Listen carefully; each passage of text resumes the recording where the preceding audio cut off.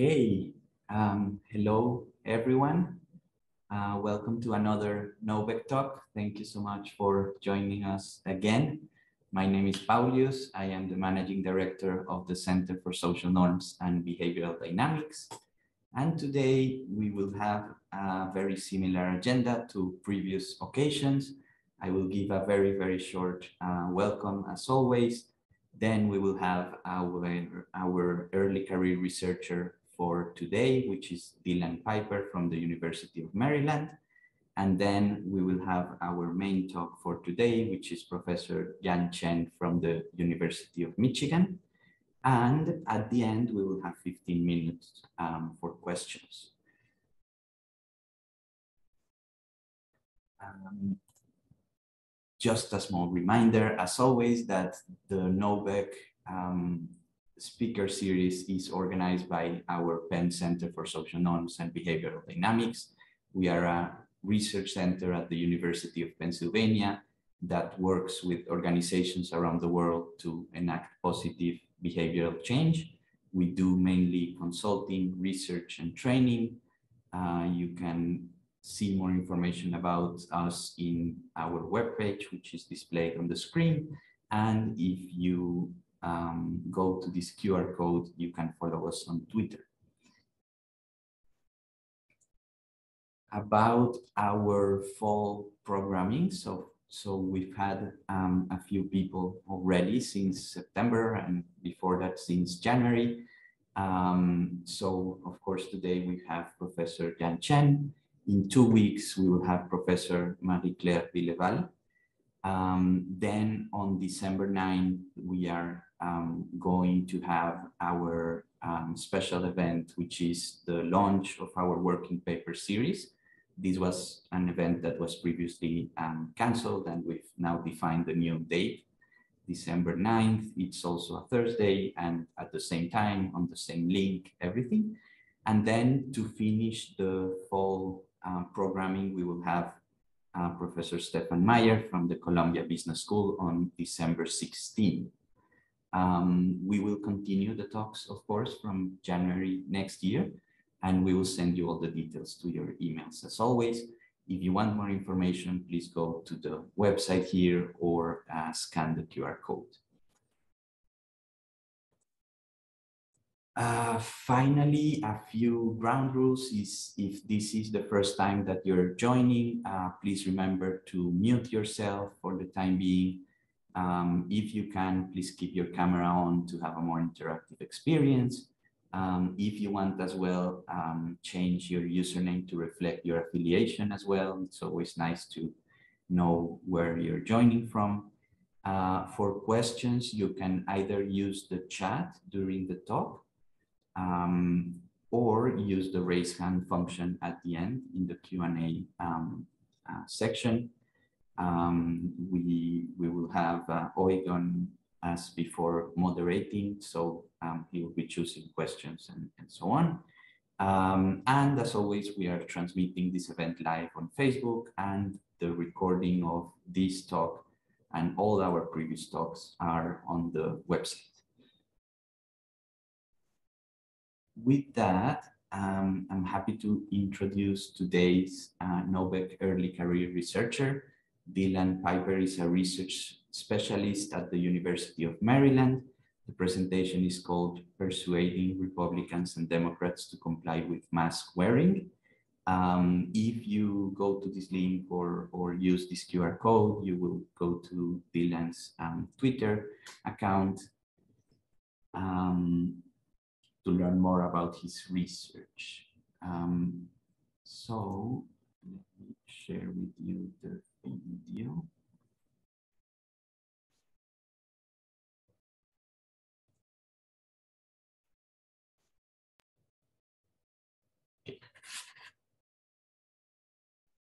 Hi, my name is Dylan Pieper with the University of Maryland at College Park. And today I'm discussing an intervention tournament that we ran to persuade Republicans and Democrats to wear masks. The study is a registered report under review at the Journal of Experimental Social Psychology.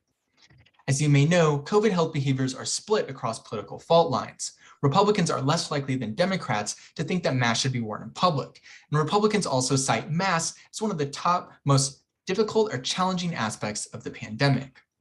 So we built on moral foundations theory and other psychological literature on reducing political polarization to design our interventions. We first designed 11 interventions based on this literature, and then we pilot tested them, selecting seven interventions that were rated as the most effective.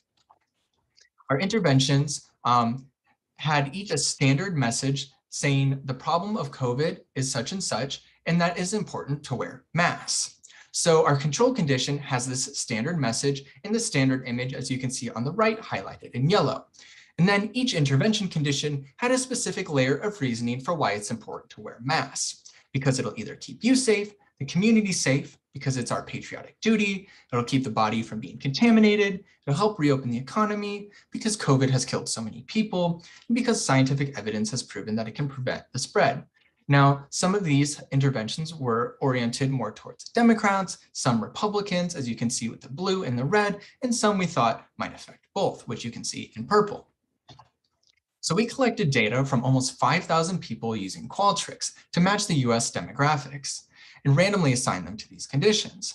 Our dependent variables were attitudes, intentions uh, to wear a mask, and then also two proxies for behavior, signing a pledge to wear a mask and sharing that pledge on social media, or rather copying a link to share uh, the link to the pledge on social media. So our attitude variables were bipolar between unimportant, important, bad, good, foolish, wise, etc. And our intention variables were um, whether you would wear a mask in these certain situations, not at all, to very much um, likely to do that. So we pre-registered all of our hypotheses on OSF and our materials and our interventions can be found there. As for our results, we found null effects for intervention and we found no interaction between um, the intervention and political party. Instead, we found a large partisan effect um, for political party such that Democrats are more likely to have positive mask-wearing attitudes, intentions, and behavior compared to Republicans. Um, so you can see um, uh, on these graphs, um, the control condition would be compared to the rest of the intervention conditions on the x-axis.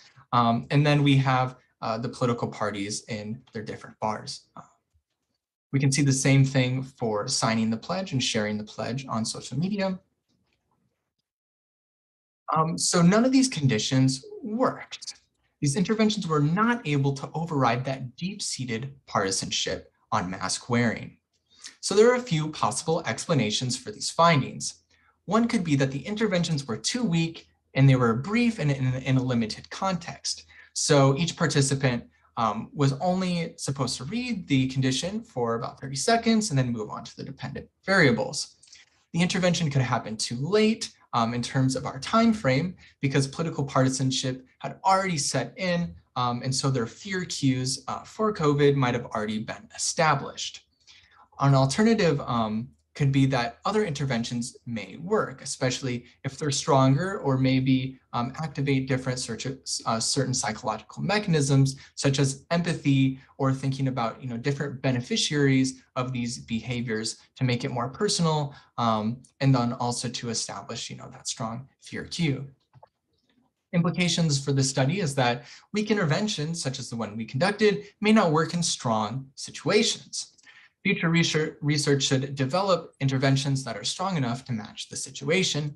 Um, and we also uh, ask this question whether other scientists and academics would also overestimate the effectiveness of these interventions. And so we actually conducted a study on this and Elena will be talking about this in the next talk. Um, so you can scan uh, this QR code and look at the abstract if you're interested in the study. We asked academics, practitioners, and lay people to predict the results of our study. Um, the following uh, slide shows our references and you can also see the abstract of this paper by going to this QR code. If you have any questions for me, please send me an email and enjoy the talk. Hi, my name is Dylan Pieper with Great. Thank you so much to Dylan for the great presentation. So um, right. yeah, so um, once again, this is um, Dylan's information. You can find uh, more about his research in this link or QR code. Um, I am not sure he's here today, but feel free to post any questions on the chat and we can, or comments, and we can transmit those to him. Um, and with that, I'm going to introduce um, today's main uh, speaker, uh, Professor Yan Chen from the School of Information and the Institute for Social Research at the University of uh, Michigan uh, with the talk, The Role of Group Identity in Fostering Political uh, Polarization. Uh, Professor Chen is the Daniel Kahneman Collegiate Professor of Information at the University of Michigan School of Information.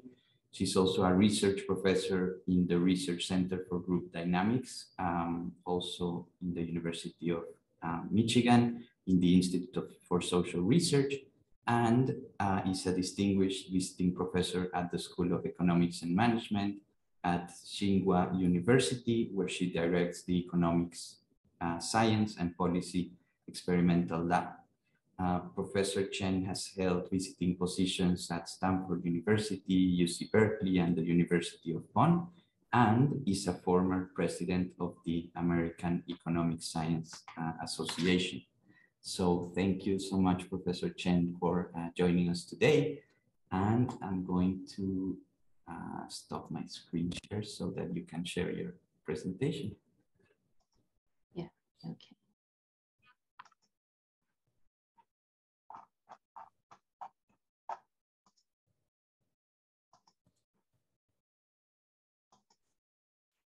All right, can everyone see my screen?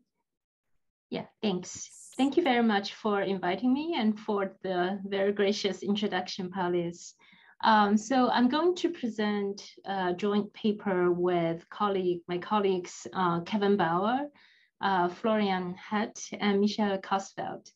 So uh, the title has evolved over time. The current title is The Role of Group Identity in Fostering Political Polarization.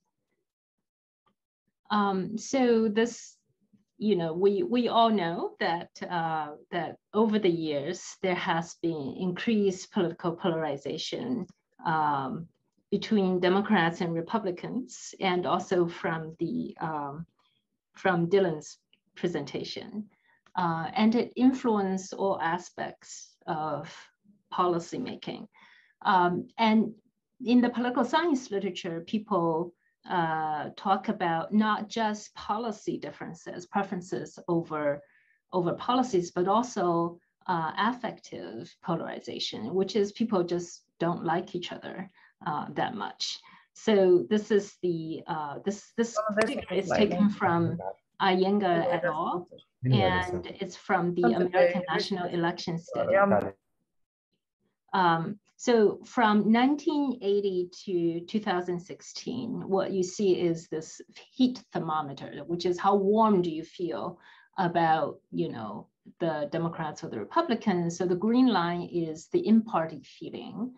The purple line is the out-party feeling. And the, the black one is the difference between the in-party and out-party feeling. Um, and so what you see here is this is what political scientists call the affective polarization. So um, the difference between in-party and out-party feeling has changed a lot. And um, the, the conjecture is that it, it is an outgrowth of partisan social identity.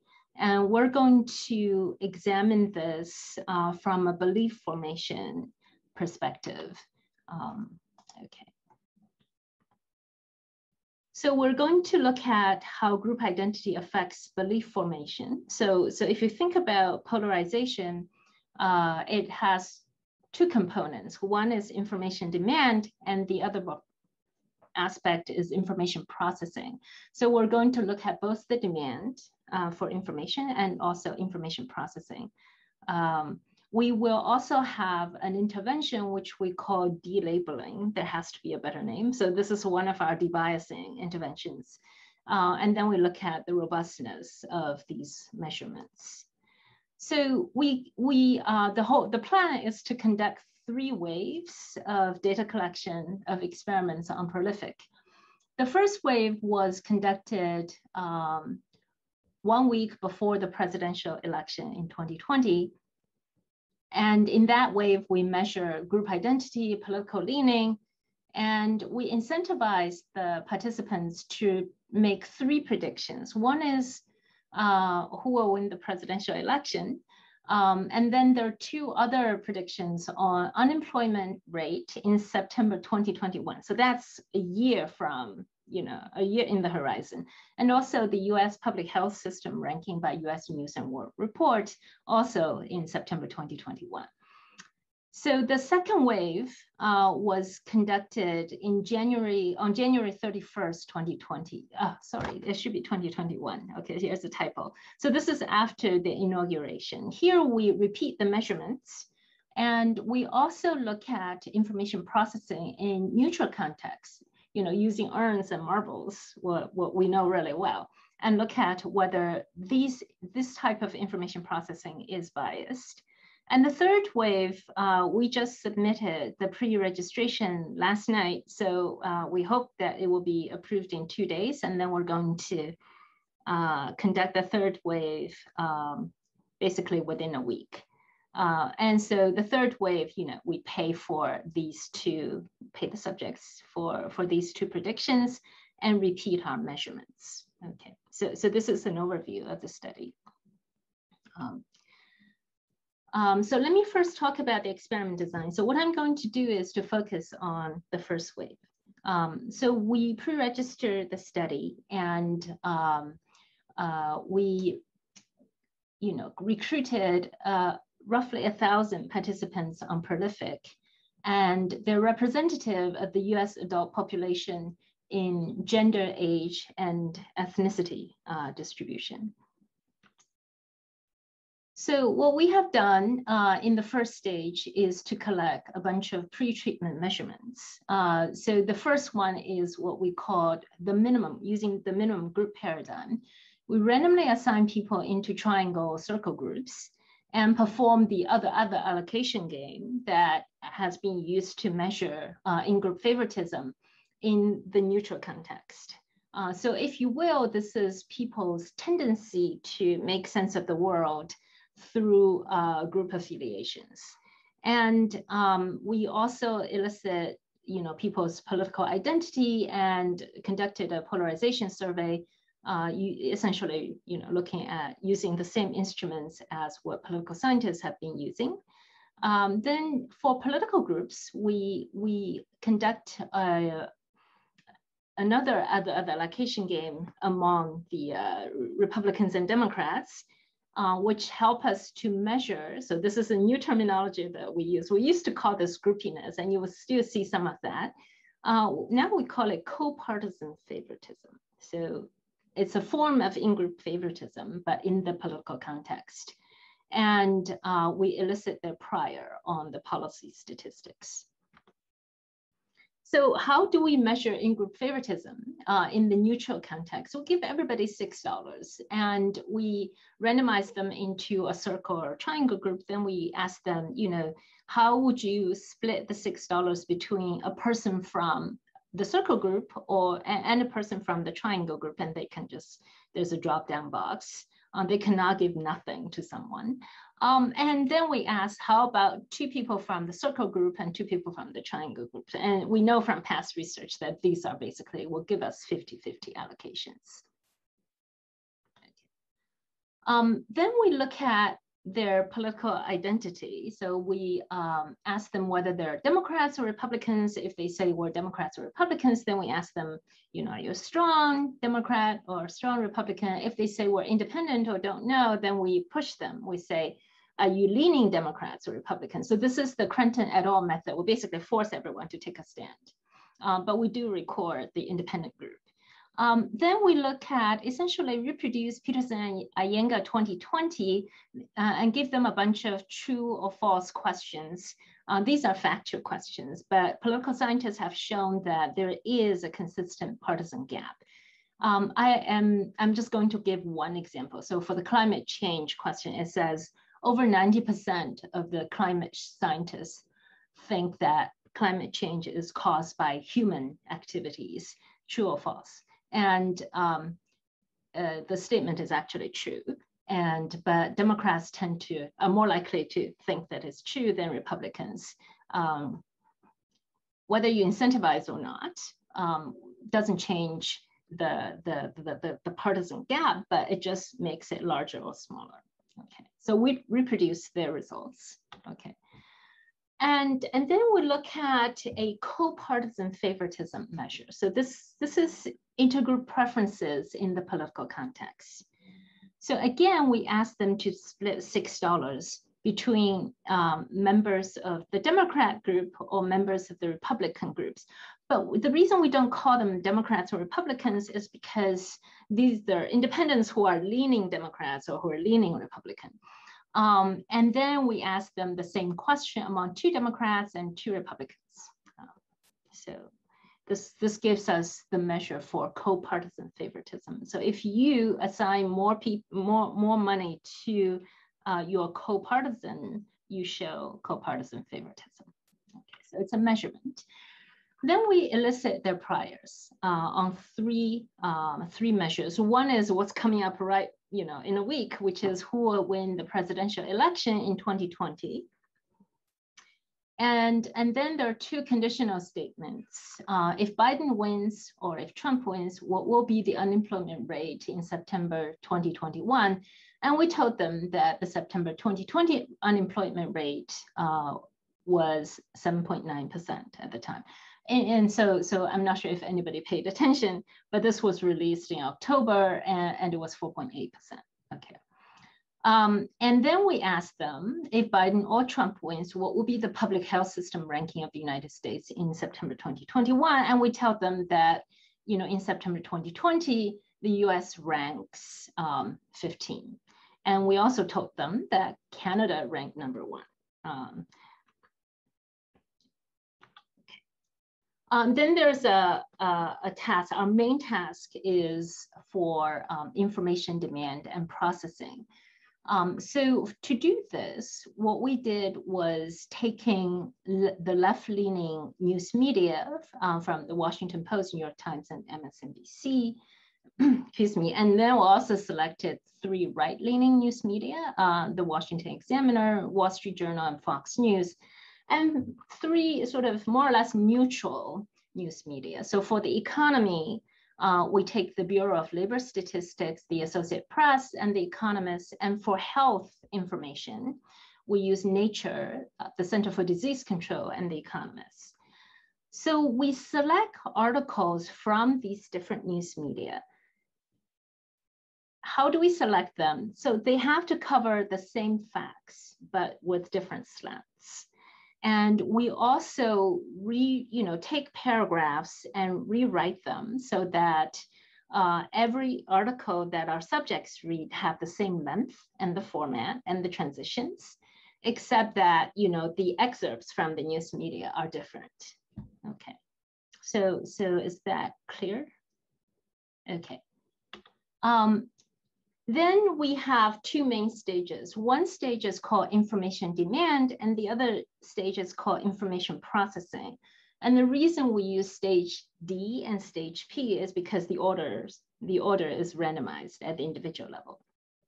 So if you're in stage D, uh, the information demand stage, you would see two article titles on the economy or health, and the main variation is whether we have we show the label or no label. So I'll show you the screenshots uh, from you know of the of the source. Then we elicit people's willingness to pay to read one of these articles.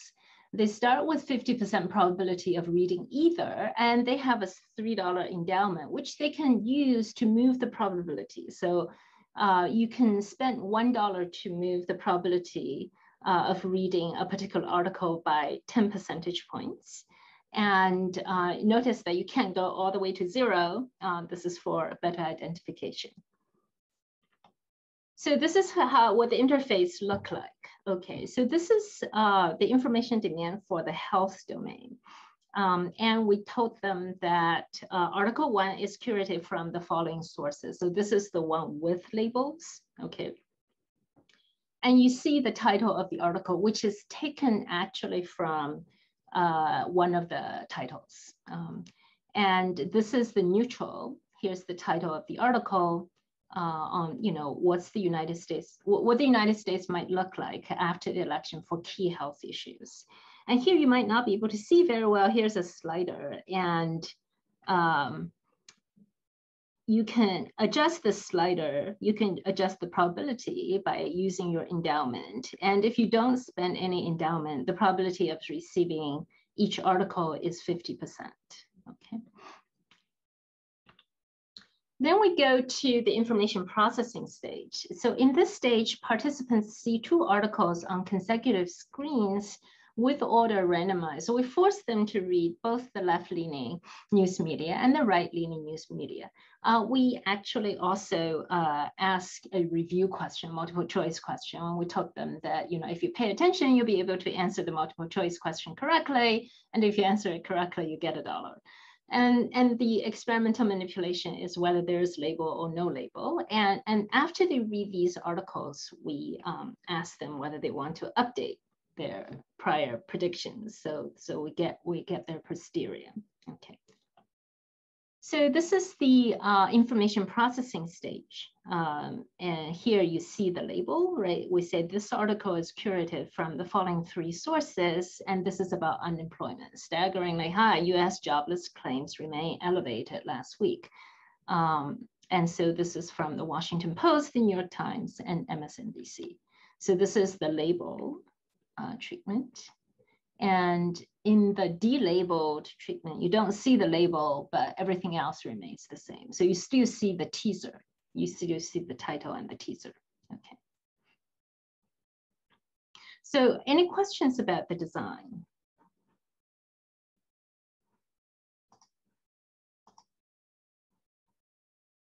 Okay. We got no questions in the chat, Yan. Okay. I, I have a I have a question. Go ahead. Yeah, yeah, go ahead, Christina. Uh, yes, uh, um, did you measure the reaction time uh, when, you know, you look at their posteriors? Uh, between uh, uh, looking, so they see the label and they see the title versus they only see the title, no label, you yeah. know, the reaction time when they respond?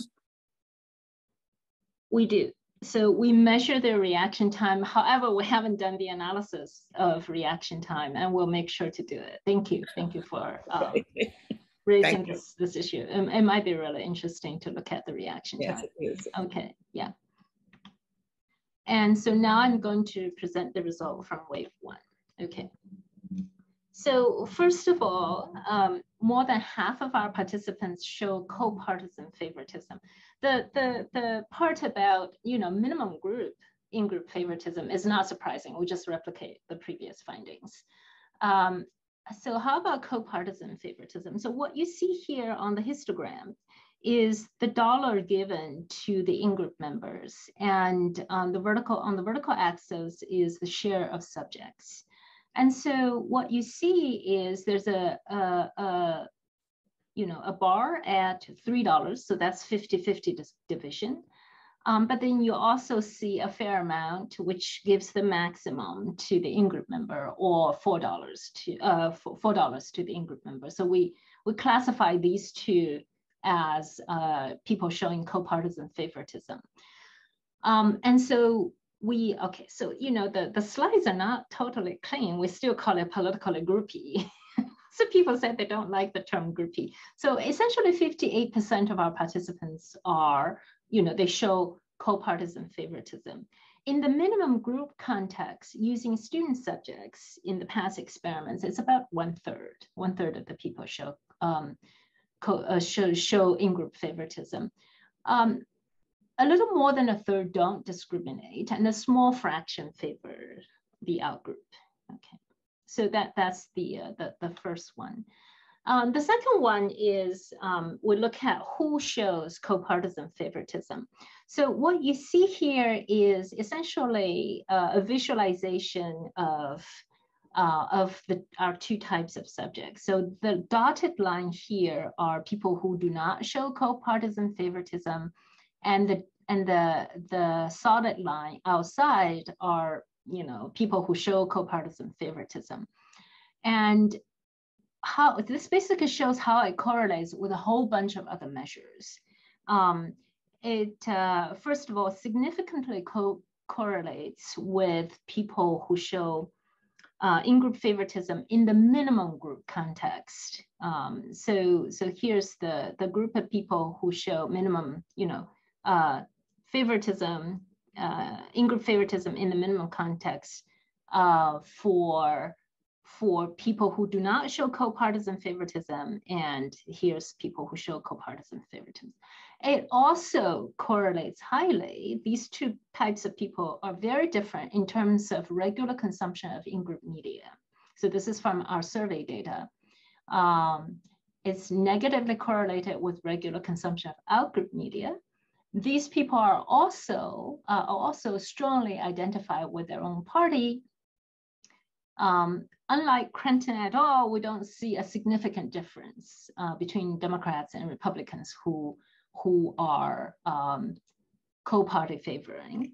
And uh, in the Peterson and Iyengar uh, questionnaire for the factually correct answers, um, they are far more likely to have incorrect, but to, to show incorrect but party congenial answers. Okay. Yeah, no, I have a, I have a quick question. Do you have a yeah. do you have a good explanation for um, this high correlation between groupiness and uh, minimal group sort of um, uh, behavior? Do you think this is like an individual trait that just correlates, or do you think there's something specific about people just being more sensitive to you know being asked to decide between in-group out groups? Like you know, is it something about the setup in which you present these things, or is it something about the actual people inherent characteristics? What do you what do you think? I, am sure you don't have yeah so we actually answer. we interpret this as a trait. So it's very much like the way we measure risk preferences. Uh, we we can use risk uh, think of risk parameters in lottery choice in you know sealed bid auctions in you know um, decision under ambiguity and so on so we think of this as a parameter so um, as an individual trait and uh, I will talk a little bit more about how we measure. So what we did in the first wave, um, in actually in the first two waves, are um, extreme cases. So one can think of the minimum group as the really minimal uh, context-free scenario, and the political context as, you know, especially the week before the election, as highly charged context. And in the third wave, which we hope to, con- to launch in two days, we're going to have uh, much more sort of in between natural identity, uh, which is whether it's in, in your state or out, outside of your state. Um, yeah, I think, I think one interesting way to probe sort of the robustness of this, whether this is really an individual trait, would be to see whether this carries over to self versus other trade-offs, right? So you do these interesting other other trade-offs. Um, and you know, like in my Trump paper, I have the self other. I don't have the minimal and the uh, party identity for the same people. So I can't, if I had this, I could check that for you. And then I could say, you know what, that actually carries over to also the self versus other, right? So it would be interesting to see, is this really more uh, because of the way this is designed to be other other allocations? So is this really an individual trait that people just are more likely to discriminate across all you know variations of, of the, I see. yeah, so Sherry and I did that in our paper in the 2009 paper. So we started with this other other allocation, and then there's a whole bunch of self other allocations in the form of dictator game variants of dictator games and also uh, two-stage sequential games. Uh, so yes, it carries over. To, so they're highly correlated. Um, and so this is essentially the same, um, the same information, uh, but using regression analysis. Um, and so what we see here, let me just summarize. So co-partisan favoring individuals are more identified with their party, are more likely to give incorrect answers to factual questions, um, but that are party congenial. Um, they're more minimally groupy and they consume more partisan aligned media. Uh, so everything that we observe uh, are highly correlated uh, with, with this measure what we, that, that we call co-partisan favoring. So now we're moving into, so you know, the, the previous set of results look at allocation. So now we're going to go into beliefs. So we first, um, before we give them choice of articles on uh, unemployment and health system ranking, we, um, we first look at um, their prior. And it turns out that yes, uh, you see that in their prior belief. Uh, there's in-group bias in their uh, prior belief. Um, and we can control for various things, and it's it's it's fairly robust. So, uh, and then we look at demand. You know, you start with a prior, and then there's demand for information and processing of information. So this whole pump, pipe, pipeline uh, would lead to the polarization results. So what we find is co-partisan favoring individuals are significantly more likely to avoid out-group information and demand in-group news. So what we see here are, unfortunately, the figures are still labeled as non-groupie and groupie. So groupie means co-partisan favoring and non-groupie means non-co-partisan favoring. Uh, groupie is shorter, definitely. So in the out-group scenario, this is the co-partisan favorings um, percent of endowment that they're willing to spend in order to avoid the out-group news. And so the, these are for um, people who don't show co-partisan favoritism. And what we find that the difference is um, is uh, highly significant. It's nine percentage points. So co-partisan favoring subjects spent nine percentage point more endowment um, to avoid outgroup information.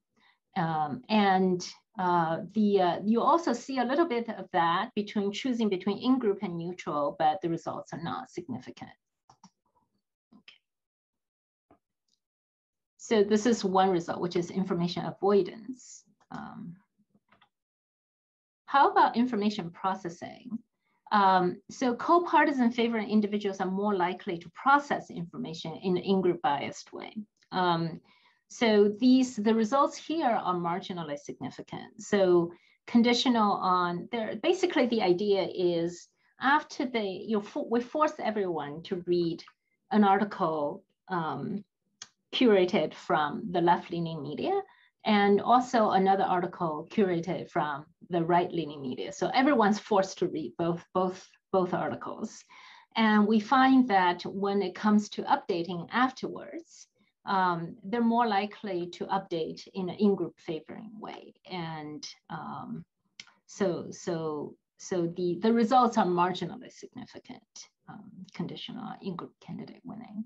So, um, so for the information demand, um, here is the whether you show the label or not. And here, remember, here's the, the sticker. Um, what we, um, so, so, so this is a, what's, what's called a, a Sankey diagram. So this visualizes how people um, update. So this is unemployment predictions by Democrats, okay in wave one. So this is conditional on Biden winning. The, the reason, you know, we can all, we also have the same diagrams conditional on Trump winning, except that we don't know what the ground truth is. Um, so we give them specific ranges of unemployment rate in September, September 2021 and ask them, what do you think is going to happen a year from now? And people, uh, 4% uh, of the people said, you know, it would strongly, unemployment was increase, strongly increase, moderately increase, stable, you know, around around uh, 7.9. You know, we, we, we give them the, the precise bracket. Moderate decrease or strong decrease, you know, this is good. Strong decrease of unemployment rate is really good. Okay. So here's the prior and here's the ground truth. So the green uh, check mark means this is actually what we observed. So unemployment rates decrease strongly. And so this is people's prior, and this is posterior after they read uh, the articles. The first thing that you should note is about half of the people don't change their prior, they don't update, okay? And for the remaining people, actually, so some of these uh, moderate decrease people um, moved here. Some of the optimistic people moved up to various different slots. Um, but what's striking is after consuming the same information, here's the Democrats' prediction, and here's the Republicans' prediction. So first of all, in their prior, um, only 7% of the people believe that, Republicans believe that, you know, it will decrease strongly. 19% um, of the people think that it would increase uh, strongly. And again, most people don't update their prior, uh, more than 50% don't update. When they update, here there's actually a slight increase in the optimistic beliefs. Um, but the absolute value um, is lower than the, uh, the Democrats. In other words, when we paid the, our participants in wave three, more Democrats will get paid for the prediction about unemployment conditional on Biden winning than Republicans. And for the health system ranking, it's exactly the opposite. Yeah, I have a question about the mechanism of the information processing. Um, if you go back, if you don't mind, two slides back when you show the updating, uh, sorry, one more. Um, um, maybe you mentioned this. Are you able to exclude that people, if they read sort of the news that they are not really interested in, that they just skim over that, don't really pay attention too much, and then they just they just ignore that information more? Are you are you testing the knowledge after they read this? Is that something that you're able to control for? Uh, so we have a multiple choice question afterwards, after they read the articles. And uh, we control for whether they answer that question correctly.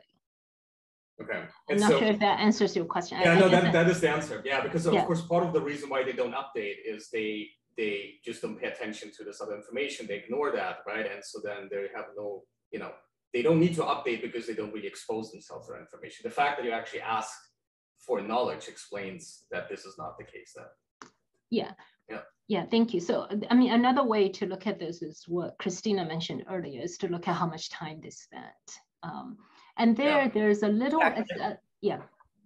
Yeah, because uh, uh, I suspect that uh, uh, the people who um, uh, basically don't process the information, the highest number would be the people that uh, uh, basically um, pay attention to the, to the newspapers, to the media, and don't read. If I pay attention to the media and then I don't read, I don't care, you know, then of course uh, my updating will be minimal.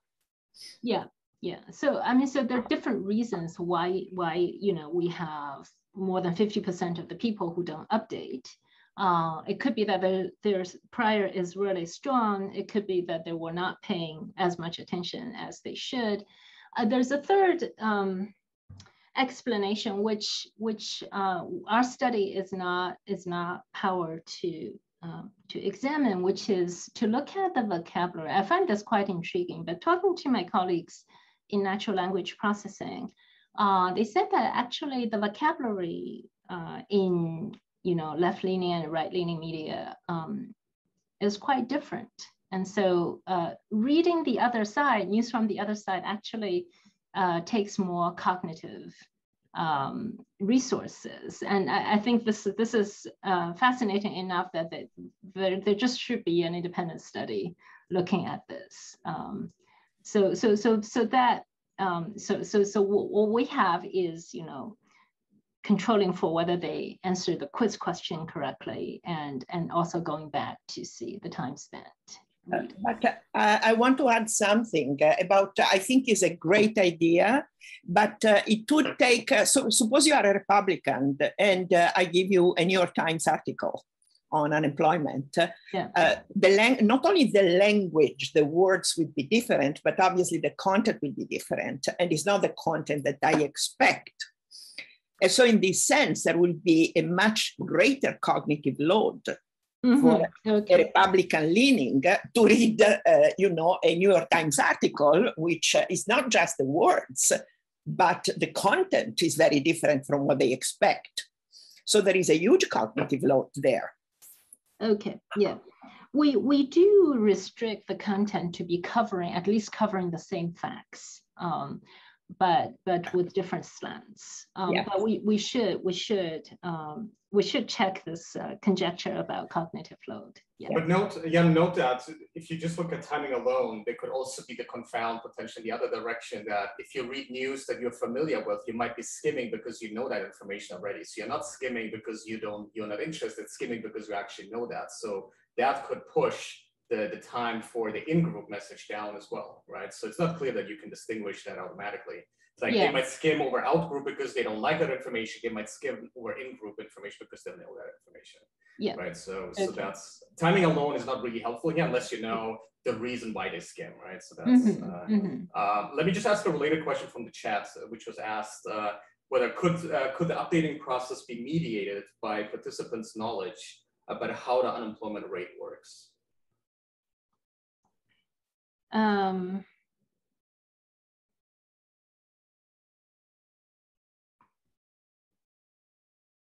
It could. Um, what what uh, that's that's interesting. Uh, one thing that I would like to bring to everybody's attention is it's a really really difficult prediction task. Um, um, you're you're predicting unemployment rate a year from now, um, and lots of things could happen. We give them a chance to update at the end of January 2021 because there are major things. major things happened. One is uh, a viable vaccine was a, wasn't available and announced in December. And the second one is Biden became the president. And so, so, the, so they had a, an opportunity to, to update. Um, and I, I, can show the results if we have time in the end, but, but it is a very difficult task. And I think one thing that we could check is the Chicago panel of, you know, expert economists prediction of unemployment rate and see how far our subjects are compared to the experts. Um,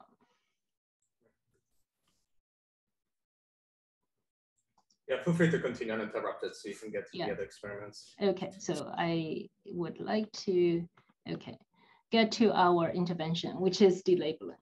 Okay, um, it turns out that yes, delabeling has an effect and it has an effect in information demand. Um, so delabeling the articles significantly reduces outgroup information avoidance by seven percentage points. Um, and unfortunately, it has no effect on information processing. So people still, um, still update in a partisan bias way.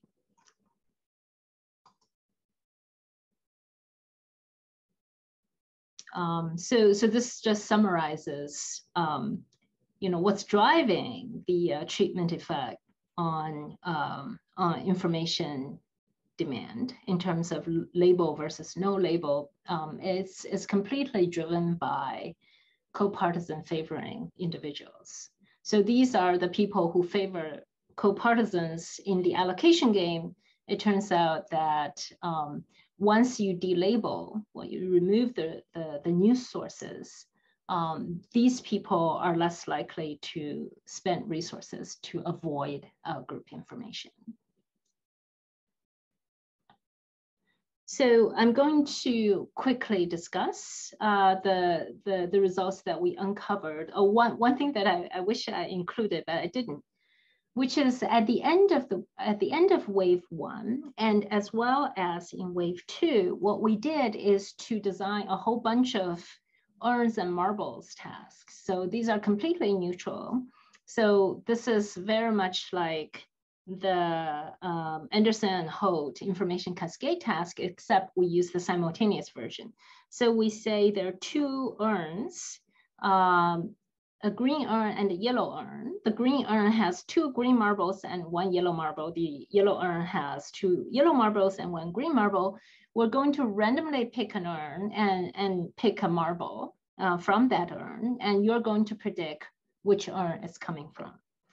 Um, it turns out that once we remove the context, um,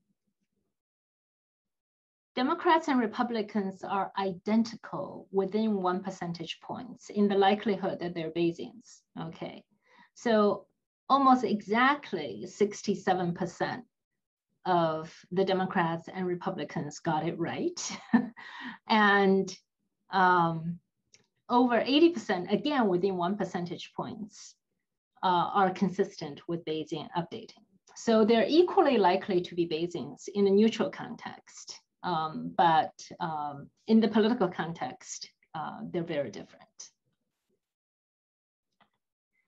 So what we uh, have um, measured in this in the study is uh, essentially uh, we would like to see how robust this is, which is a trait um, that we call, you know, in the, the, the large literature calls it in-group favoritism.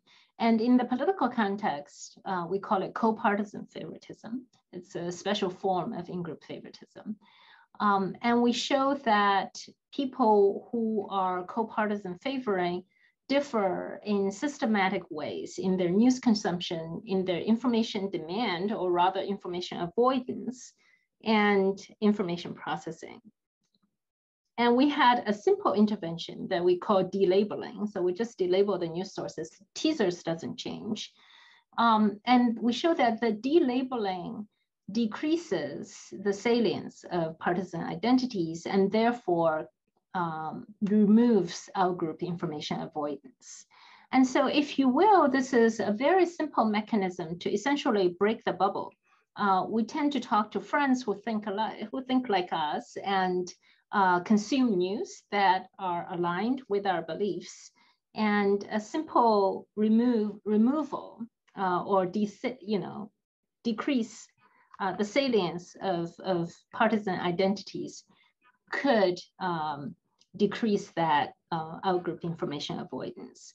And what about the policy implications? You know, you, when you when you get your newspapers, you're not you're not getting it without the news source. Uh, one way I want to discuss is the um, Affordable Care Act, and um, there's a you know if you want to enroll um, in this uh, in, in in the government provided uh, health insurance, you go to the official website and enroll. And we know that a lot of people, especially Republicans, uh, don't enroll.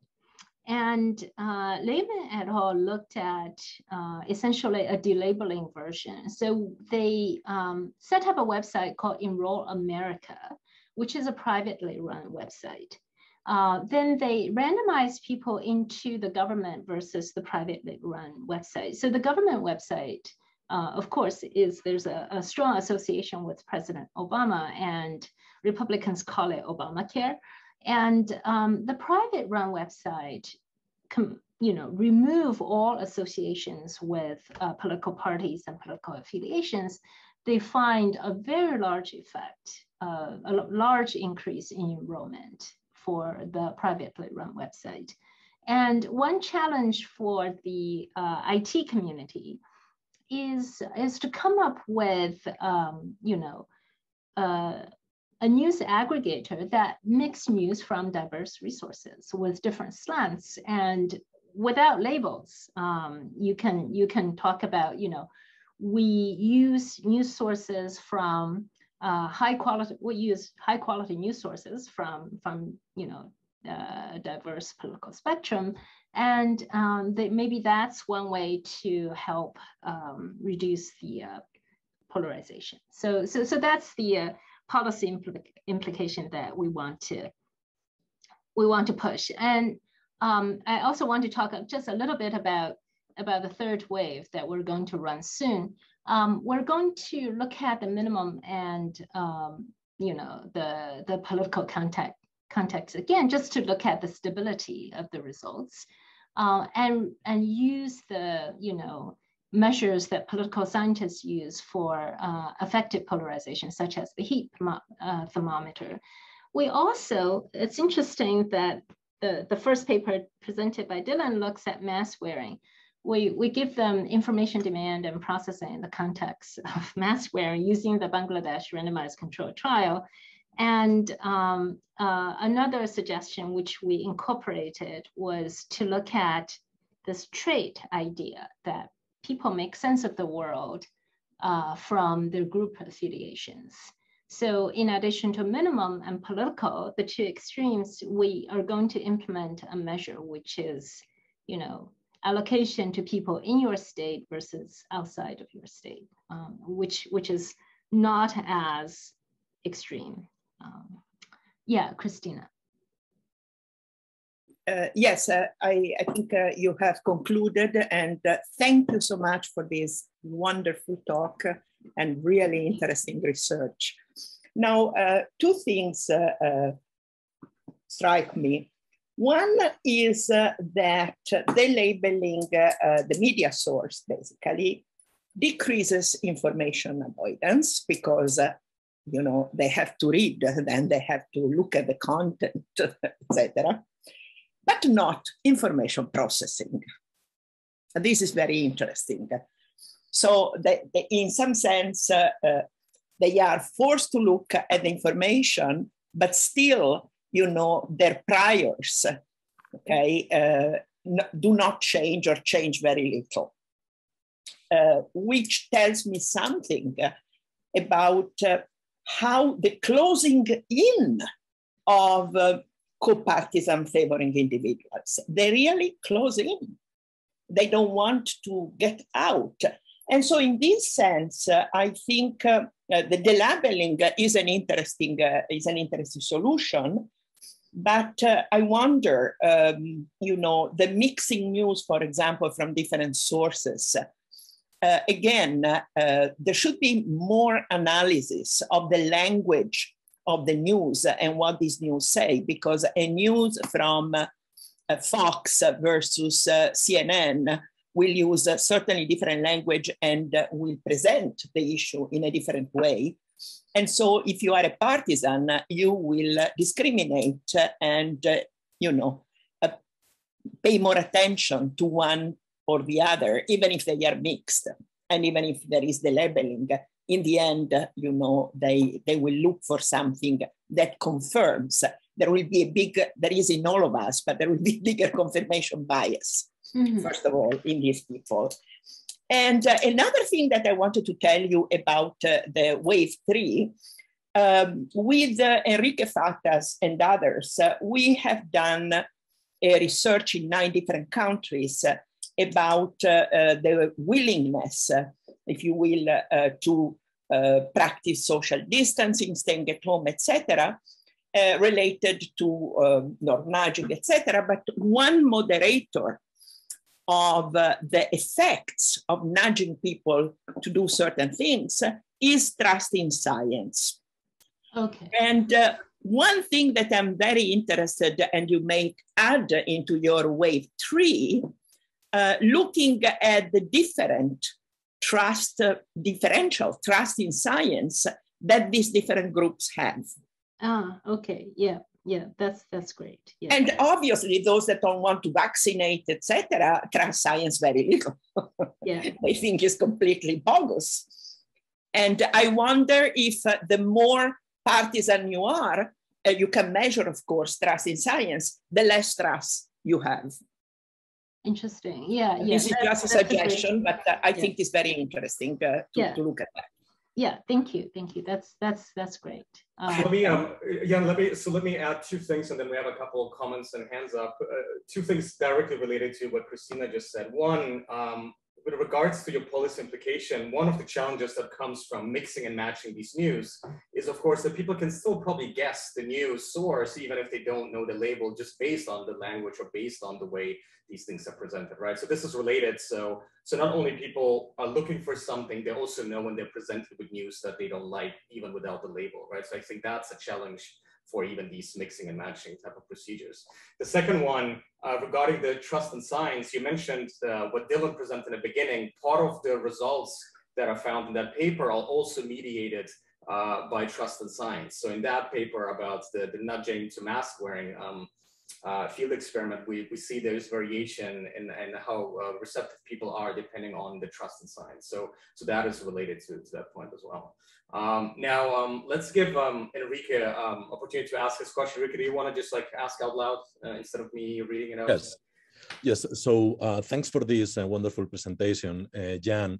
So I have a question about the connection between uh, minimal and uh, political groupiness. I was very much interested in seeing the very strong correlation between uh, both uh, in task uh, one when uh, participants were uh, making a division of, uh, of six dollars if i remember well but then you did not come back to this correlation in the other results in how individuals form prior beliefs how they update the beliefs how they access information how they process it did you look at that do you have any any uh, results uh, to share with us about the connection between minimal and uh, political groupiness in the, in the other results? Yes. Um, so the um, let me let me see. Um, right. So here's the well, interesting. Okay. So political groupiness or co-partisan, actually political groupiness seems just easier to say. This is the dependent variable is, um, you know, being politically groupy. And here's minimum, minimally groupy. So if you're minimally groupy, you are 34 percent more likely to be politically groupy as well. Um, so so so that's that's they are strongly associated and um, um, we um, we sort of yeah so we, we we look at the we look at the association you know this is the spider web um, result that I presented earlier. Um, we look at the association and then for the rest of the paper we just went ahead with political groupiness or co-partisan favoritism because it's in the same context. But they are highly correlated. So we, we do have a Venn diagram that shows the overlap. So uh, of the people who are minimally groupy, two thirds are also politically groupy. Um, it, it could be probably very interesting to see if the, the same pattern is uh, uh, observed in uh, in the in the way they they I mean they they are interested in paying to get the information they they are um, in favor of or how they update their beliefs because I mean this this is a fascinating result if uh, uh, robust I mean this is a very strong uh, trait you will tell me but I don't believe this was this is this is new to me.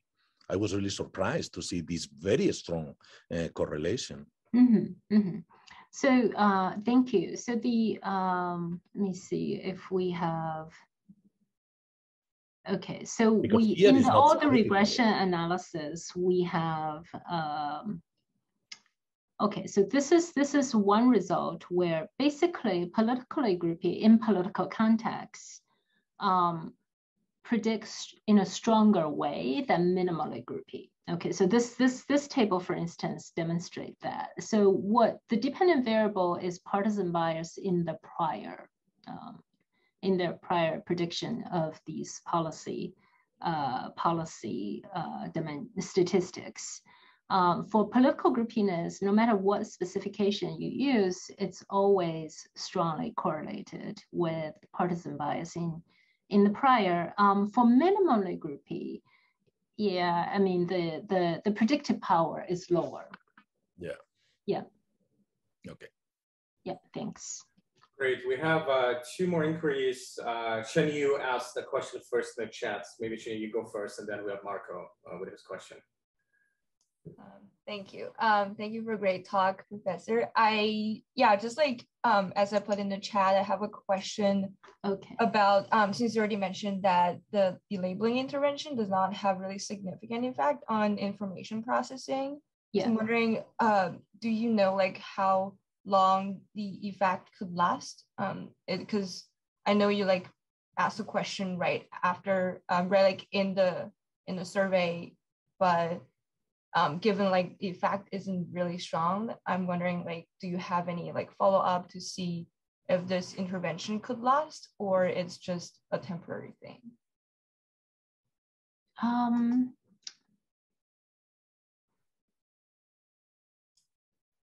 so we don't know how long it lasts. Um, so the um,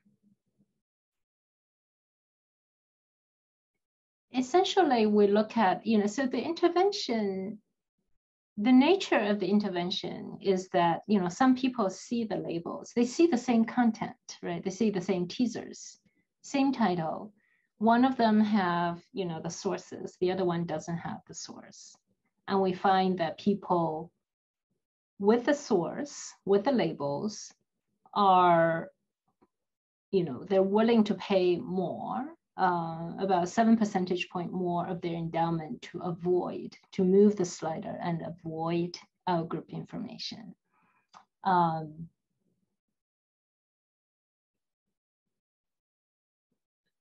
I guess there isn't a natural context that you can just measure it after the experiment. We can repeat the same measure, right? And uh, and see if if they're stable.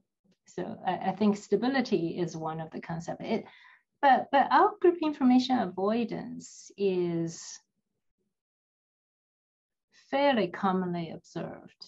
Um, you know, very early on in the 2008 presidential election, Lada Adamic has a very highly cited paper called Divided We Blog.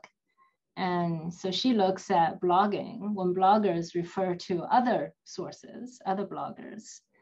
Uh, who do they refer to? You have two largely separate balls. Uh, one of them, one red, one blue and so so that that is uh, like a naturally occurring type of information avoidance they're familiar with their in-group and they, they refer to them very few people actually cross cross the aisle and refer to outgroups. Yeah thanks. Great. Uh, marco go ahead next. Thanks. Yeah, thanks for the the talk. The, um, I mean, obviously this is very interesting, and I, I wanted to know something that's related to um, what Christina and Eugen pointed out. So basically, um, like there's like this layer of having like a label, and then there's also language, and I guess also interpretation of facts and so on. If you restrict it to the same facts, um, so I guess vocabulary you could, in principle, switch on and off to some extent by um, well like um, seeing what vocabulary used in those articles is like the most neutral in a way um, so you could classify articles by how neutral they are worded and then you could see potential and then like the implication would be that maybe if the new york times wants to reach like uh, republicans then they should use more a more neutral vocabulary i guess Mm-hmm. And another way that would potentially be simpler, like for you, is you could ask people um, what they think um, the source is if you don't label it. Yes. Also, like see whether um, basically something that you identify as clearly left-leaning has like uh, more or less of an effect than like yeah, yeah, that, that's a great suggestion. Thank you. Um, I, you know, one way, there's actually a way to quantify um, the, the language similarity, which we use in other research, yeah. uh, other papers. Exactly.